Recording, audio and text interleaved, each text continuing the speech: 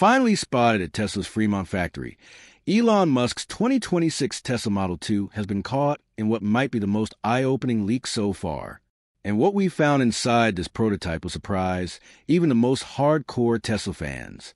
Just months after Elon said confidently, I'm sure this will be available in many cities in the US by the end of this year.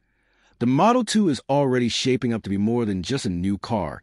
It's a full on revolution in how vehicles are designed and built. So, what makes this Model 2 so different that Elon is calling it a game changer?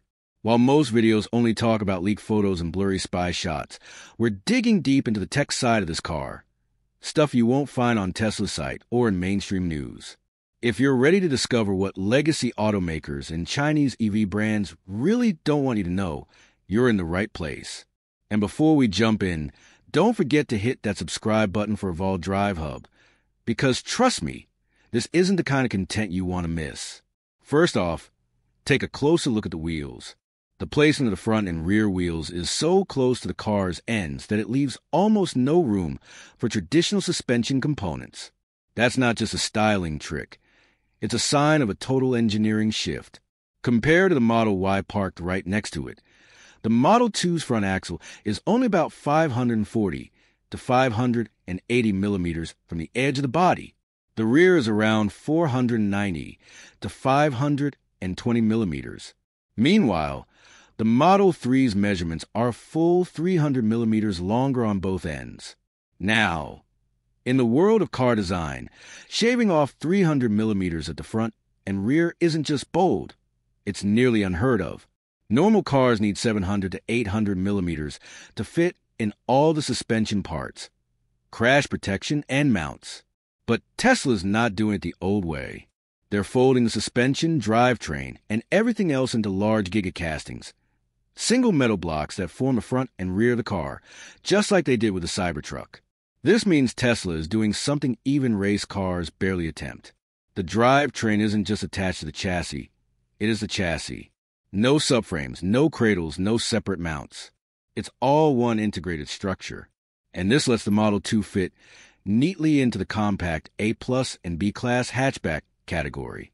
It's perfect for tight turns in narrow city streets, with a turning radius of under 5 meters. Could this be the first affordable EV using racing level drivetrain casting for daily urban driving? If that blows your mind, comment wheelbase below. Now let's talk about the roof. Something's very different here. From the B pillar to the back of the car, the roof doesn't flow smoothly like the Model Y or Model 3.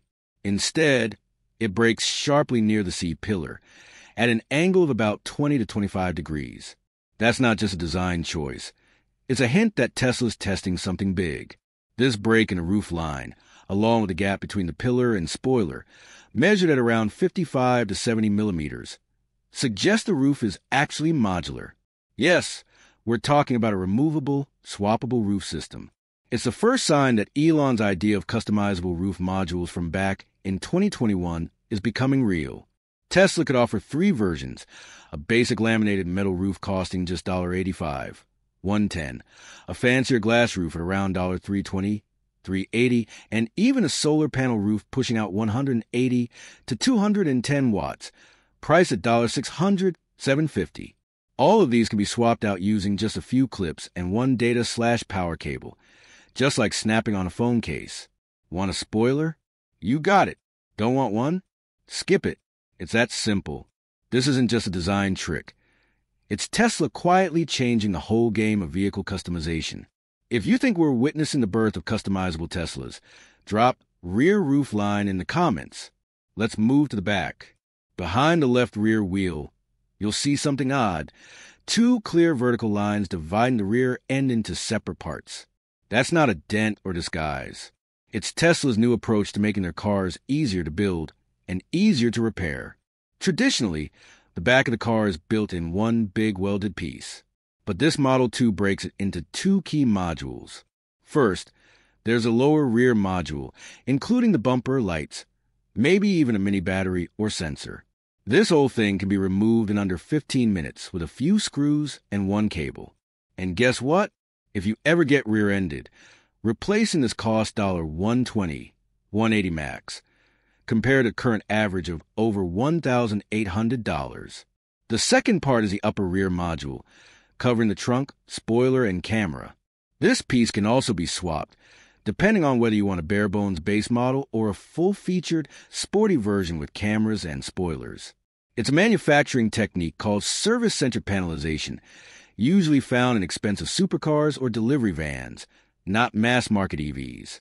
But Tesla is betting big on it because it reduces repair time, cost, and stress. Think about it.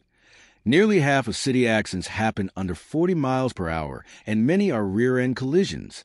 What if, instead of paying thousands and waiting weeks, you could fix your Tesla home or at a local shop in under an hour?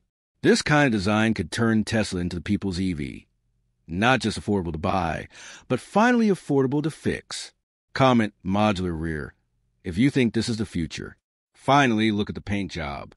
It might seem minor, but it's actually the final clue. The prototype is only painted in the middle section, while the front and rear are still in camouflage. No wrap lines, no stickers, just real paint. This tells us Tesla is testing a new production technique called partial body painting. Instead of painting the whole car in one go, which takes 42 to 45 minutes, they're now painting only the center body shell. This alone cuts paint time by nearly 40%, down to just 24 to 26 minutes. That's a huge win in production speed. It also allows Tesla to build one base body and attach different front and rear ends depending on the market. Want the US version? Attach a big bumper. European market? Use smaller bumpers and different lights. Indian version? Swap in a sleeker front for better airflow, all using the same base shell. Right now, Fremont can build around 475,000 vehicles a year per line. But with this new paint and snap strategy, that could double, maybe over 950,000 per line. With just Fremont and Giga Texas combined, Tesla could be on track to pump out more than 2 million Model 2s annually. So what we've seen today isn't just a prototype. It's a blueprint for Tesla's entire future. From the wheel placement to the roof design to the rear panels and even the paint, every piece of this car is whispering one thing loud and clear. Tesla is changing everything, not just in how EVs are made, but how they're owned, upgraded, and fixed. If you want more deep dives like this, make sure to subscribe to Evolve Drive Hub, your go to place for the sharpest, smartest, and most detailed looks at the tech shaping our roads. Because this isn't just a car, it's the start of a revolution